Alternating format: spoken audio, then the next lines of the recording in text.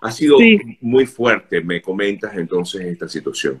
Sí, muy fuerte. Claro, aquí las personas están acostumbradas a esta situación porque, eh, como lo hablaba con una persona ayer, lo llevan casi que en sus genes. Nosotros los venezolanos no estamos acostumbrados a este tipo de, de, situaciones que estamos viviendo actualmente aquí en Ucrania. Explosiones, eh, aviones volando cada rato por, todos, por todas partes, gente armada. Es un desastre completo, completo desastre. Y bueno, hasta ahorita buscando la manera de de evacuar porque los comentarios aquí es que esto puede empeorar en las próximas horas, los próximos días, esperando que el, canal humanitario que vayan a abrir eh, sea productivo y podamos salir tranquilamente del país. Eh, ¿Y tu esposo quedaría en, en, Ucrania? Mi esposo quedaría aquí en Ucrania porque no puede salir. Claro. Los hombres mayores de 18 años no pueden salir del país. Eh, y por supuesto, el, miedo sigue presente, Glenda. Sí, mucho miedo, mucho miedo. Ahorita estoy aquí afuera de la casa, está nevando, porque no puedo tener a mi niña tampoco escuchando tanta información, noticias sobre lo que está sucediendo. Está ahorita en un estado de, depresión que no quiere que, le afecte más. Wow, sí, no, no, y te doy eh, un abrazo fuerte, eh, Glenda, porque sé que tienes que ser muy fuerte también para ella. ¿Qué edad tiene? Ocho años. Ocho años, y comprende perfectamente todo lo que ocurre. Sí, comprende, lo comprende. ¿Cómo, se le habla a, un hijo de esta situación, Glenda? Sí.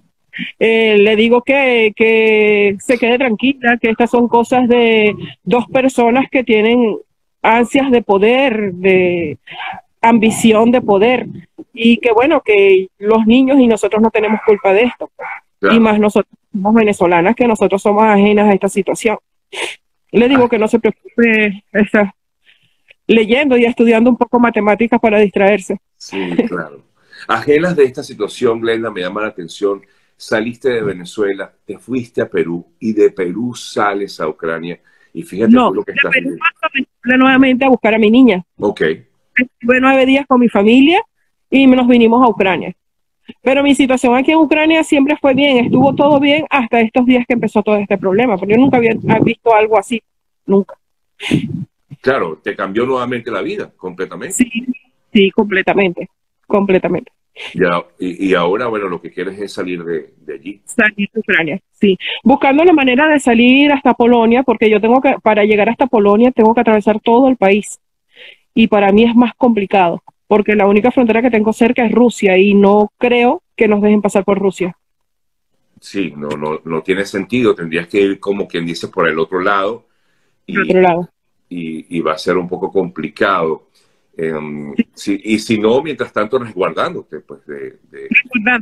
Sí, gracias a Dios aquí en casa tenemos búnker y bueno, en cualquier situación de que esto se ponga peor, eh, a escondernos en el búnker. No queda de otro. Es, es constante el ruido de las sirenas, de los, de, Bueno, aquí, aquí en la zona donde estoy no se escuchan sirenas, pero sí explosiones. Muy cerca. Anoche se veían las luces y todo de los, de los misiles que lanzaban todos. Es horrible. Qué fuerte, qué fuerte. mandan a tener las luces de las casas apagadas para que no vean la, para que no vean los reflejos de las ventanas, nada. Ya. no es, Sí. Glenda, Dios te guarde a ti, a tu niña. Y, gracias por conectarte, gracias por escribirme, gracias, por... Eh, bueno, nada, todos nos eh, solidarizamos contigo, te abrazamos fuerte. Eh, gracias. No estás sola, yo sé que de pronto sí lo sientes, pero em, de pronto buscas de hecho este tipo de conexiones para sentirte conectada. Gracias, hasta luego. te bendiga, bye.